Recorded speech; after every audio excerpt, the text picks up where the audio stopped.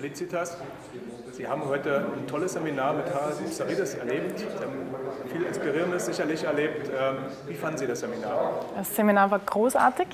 Ähm, ich habe wahnsinnig viel über mich selbst gelernt und wahnsinnig viel über Führung gelernt. Sich selbst zu führen ist einfach mal das Allerwichtigste.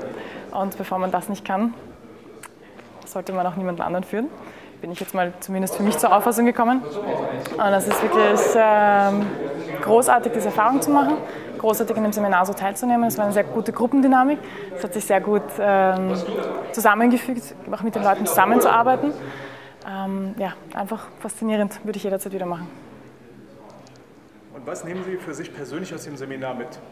Ähm, mehr an mich zu glauben, definitiv mehr an mich zu glauben, mehr an mir und mit mir selber zu arbeiten.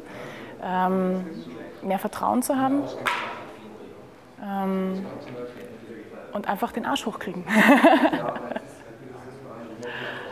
Wie inspiriert Sie Harald Psarides? Wie er mich inspiriert? Durch sein Auftreten, durch die Art und Weise, wie er mit Personen umgeht, wie er mit Menschen umgeht, wie er ähm, die Dinge rüberbringt, die er einem sagt. Man weiß einfach, er hat extrem viel Erfahrung. Das ist sehr angenehm zu wissen, dass man in sicheren Händen ist und weiß, dass man sich da auch Fehler eingestehen kann und auch sagen kann, okay, das kann ich nicht oder konnte ich bis jetzt nicht. Und ähm, einfach das Vertrauen zu haben, dass er einen weiterführt. Funktioniert sehr gut. Sie haben heute auch eine gewisse Extremsituation erlebt. Sie mussten ein Brett durchschauen, wo Sie am Anfang vielleicht gar nicht wussten, schaffe ich das oder schaffe ich das nicht. Wie haben Sie das erlebt und was hat das bei Ihnen bewirkt? Ähm, am Anfang ist es beängstigend. Man hat die Ängste, was passiert, wenn ich mich verletze, was ist, sehr viele Fragen, sehr viele, ähm, klassisch, das, was man vor dem Seminar hat, Ängste.